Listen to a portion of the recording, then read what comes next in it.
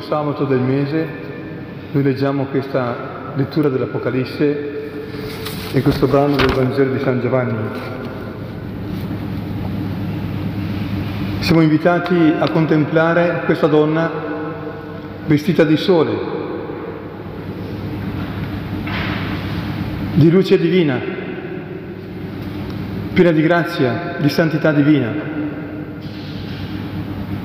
Ed è mia madre e la mia mamma. Non è una creatura lontana nel cielo, è vicina a Dio, ma proprio perché è vicina a Dio, con Dio, è vicina anche a me, in ogni momento della mia vita, è con me, io sono in lei, nel suo cuore immacolato e materno, che mi è stato donato come rifugio in mezzo a questi pericoli, conforto in queste tribolazioni e via che mi conduce a Dio. Perciò la voglio prendere veramente come ha fatto Giovanni, come mamma, nella mia casa, nel mio cuore, nella mia vita. Vivere con lei per lei ed in lei, che è come vivere in Gesù, con Gesù e per Gesù è la stessa cosa. Perché Maria e Gesù sono un tutt'uno, fusi uno nell'altro. E così siamo chiamati a diventare anche noi fusi, con Gesù e con Maria. Ed è possibile per grazia, per dono, non per nostra capacità, non per nostra bravura, non ci, non ci arriveremo mai, ma è un dono di Dio. A questo siamo chiamati, dobbiamo crederci. Non dire non sono degno, non sono pronto, non ce la faccio, no. Dille tuo sì. Poi Dio farà il resto per portarti giorno per giorno sempre più dentro a quel cuore, sempre più dentro in questo regno della sua divina volontà sulla terra. In questo ci aiuterà anche San Giuseppe. Abbiamo letto oggi questo messaggio del 19 marzo 1984, solennità di San Giuseppe. Sposo casto e fedele, collaboratore prezioso nella custodia amorevole del bambino Gesù con Maria Santissima. Siano in voi il suo silenzio, il suo nascondimento, la sua quiete interiore, in un silenzioso colloquio con Gesù e con la vostra mamma celeste. Questa sia la nostra vita di Nazareth, di casa. Un silenzioso colloquio interno. Non sempre possiamo pregare quando siamo al lavoro o con gli altri, però c'è sempre questa comunione di cuori, di sguardi, con Gesù, con Maria, con Giuseppe, per poter vivere nel stesso clima di fede, di amore, di gioia che c'era nella santa casa di Nazareth, abitata dal Dio, fatto uomo presente in mezzo a noi, con noi e in noi. Poi continua dicendo ancora affidate voi e anche il mio movimento alla sua potente protezione di San Giuseppe, dice Maria. Come ha saputo difendere la vita minacciata del bambino Gesù, così ora difenderà voi in questa mia opera di amore, nei momenti in cui dal mio avversario verrà attaccata e furiosamente combattuta come è proprio adesso l'ultima battaglia, ultimi tempi, ma stiamo attendendo, come annunciamo ad ogni Santa Messa, annunciamo la tua morte, Signore, proclamiamo la tua risurrezione nell'attesa della tua venuta che è imminente, perché è stata profetizzata anche da Don Stefano Gobbi. Signore sta per tornare, vieni presto Signore Gesù, vieni, lo Spirito e la sposa dicono vieni Signore Gesù, Maranatha. Ed egli viene. È già qui con noi, ma verrà anche in modo potente. Sulle nubi del cielo, per giudicare i vivi e i morti e per stabilire sulla terra il suo regno di giustizia, di amore e di pace come proclama la Chiesa nel prefazio della festa di Cristo Re, che verrà come Re a regnare, finalmente, perché non ne possiamo più di questo momento così travagliato, no? Ma però siamo con Maria, con Gesù e con Giuseppe. Loro sono la nostra forza, nostra consolazione, nostra gioia e pace. Per questo voglio prendere lo spunto anche dalle letture della messa di oggi, il profeta Isaia, che annuncia sempre pace e felicità. Popolo di Sion, consacrati alla Madonna, al suo cuore immacolato, che abiti in Gerusalemme, che è Maria. Tu non, non dovrai più piangere. Sta arrivando questo tempo nel quale tu non dovrai più piangere, perché al tuo grido di supplica il Signore ti farà grazia, appena udrà ti darà risposta.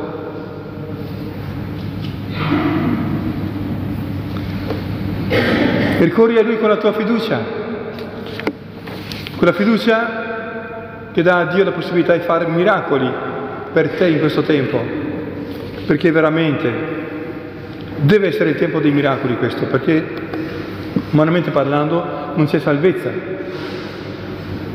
Perciò Dio verrà e si adempiranno quelle parole che Gesù ha detto nel Vangelo di oggi. Rivolgetevi alle pecore perdute della casa di Israele, i nostri familiari.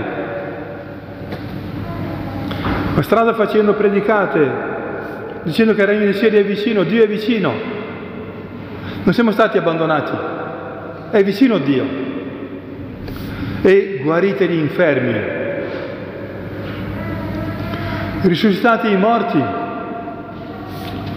guarite i lebrosi, scacciati i demoni. Questo potere è stato dato a chi crede, non solo ai sacerdoti o alle persone consacrate, ma a chi crede. Perché Gesù vedendo le folle ne sentì compassione. E vede che non possiamo più neanche curare, curarci, non si può più neanche andare all'ospedale. Il Signore vuole intervenire con la sua potenza.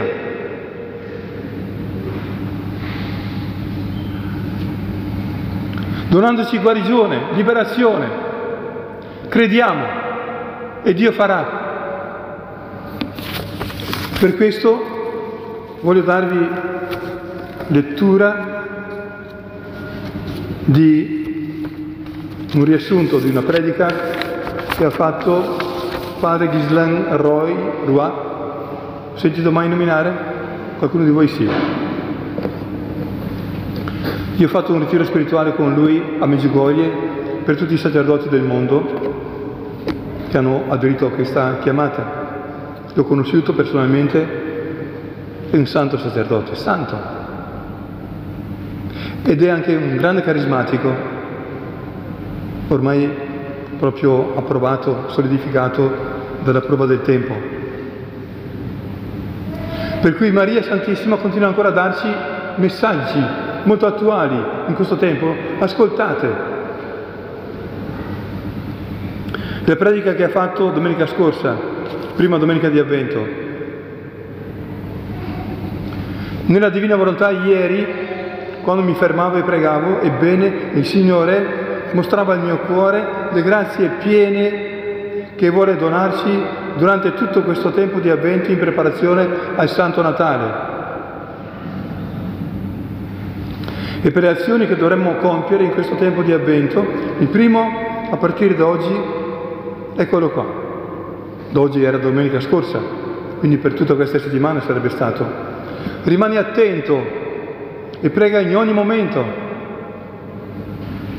Per questo vi invito a fare regolarmente e specialmente durante la notte, al vostro risveglio, oppure tre del pomeriggio, la coroncina della Divina Misericordia, dove sono tante le grazie che Gesù vuole fare per le anime di qui, come anche per le anime del Purgatorio. All'inizio della coroncina della Divina Misericordia dite nella vostra divina volontà. È il potere divino che Dio ha messo nelle nostre mani, la divina volontà, potere divino. Perché dicendo queste parole voi invitate il Signore a venire a pregare in voi, Maria che prega in noi, Gesù che prega in noi. E la tua preghiera acquista un potere divino, come fosse Gesù che prega in te, Maria che vive in te e prega in te. Quindi dite, nella tua divina volontà, vieni, Signore, a pregare in me. Vi invito anche a iniziare domani, era lunedì, quindi la novena che ci condurrà alla bella e grande festa dell'Immacolata, non occorre dirvelo perché certamente voi già lo state facendo. Ogni giorno vi invito a inginocchiarvi ai piedi di una statua della Madonna e dire semplicemente a Maria, oh Maria, Madre mia, mi consacro a te, ti consacro tutta la mia famiglia, la mia patria, mi consacro tutto al tuo cuore immacolato. Ogni giorno, una breve consacrazione per noi, per i nostri cari, per il mondo intero. Secondo gesto da fare domenica prossima, domani. Ascoltate, molto interessante. Dove sarebbe invitati a usare l'olio benedetto ed esorcizzato? Ce l'avete a casa? Olio benedetto ed esorcizzato. Usatelo. Facendo così, a benedizio a vicenda, marito con la moglie, moglie e il marito, mamma con i figli, papà con i figli. Usatelo questo olio benedetto e esorcizzato, usatelo ogni giorno. Il Signore promette grandi grazie di liberazione, di guarigione dei cuori, delle anime e anche dei corpi. Facendo questo gesto su di voi, su altre persone o anche sui malati. Sui malati fatelo anche voi. Dio vuole guarirci. L'ha promesso. Se non lo fa adesso, quando lo farà? Crediamo e Dio farà. Poi, terza domenica di Avvento, domenica 12 dicembre, è la domenica della gioia, la domenica gaudete, no? Ecco. Questo è ciò che la Vergine Maria mi ha ispirato a fare, perché sarà anche la festa di Nostra Signora di Bravissimi, Guadalupe. Sarete invitati per domenica 12 dicembre a portare a casa, comprare delle rose che lui padre Ghislain benedirà durante la messa che lui celebra per via streaming dal Canada, lui e dal Canada. Al pomeriggio della domenica vi benedice, però se qualcuno non può quel momento lì, magari andate anche in qualche santuario dai frati, Padre Leopoldo, Sant'Antonio, c'è sempre da qualche frate per benedire, no? Domandate per voi le benedizioni anche per, per queste rose, fatele benedire. Queste saranno come le rose che Juan Diego, il veggente di Guadalupe, portò al vescovo durante il periodo invernale. E il vescovo fu stupito di vedere prima le rose, ma anche l'immagine della Vergine di Guadalupe che è stata impressa nel manto di Juan Diego, che indossava queste rose, portava queste rose. Porterete queste rose durante la messa che celebrerò questa domenica 12 dicembre, appunto. E dopo prenderete ciascuno dei petali di queste rose, attenzione, prendere i petali di queste rose, che saranno petali benedetti, e li distribuirete ai malati o alle persone che conoscete. Il Signore mi mostra che quando queste persone porteranno questi petali di rosa sui loro cuori, molti saranno liberati o guariti attraverso questi petali di rose che sono stati benedetti durante la messa. E la Vergine Maria mi ha mostrato che da questa domenica 12 dicembre, per tutta la settimana, attraverso questi petali di rose, sono tante le grazie e le gioie che si riflettono anche nel cielo, donate dalla Vergine per noi, per le nostre famiglie, per le liberazioni e anche per le guarigioni.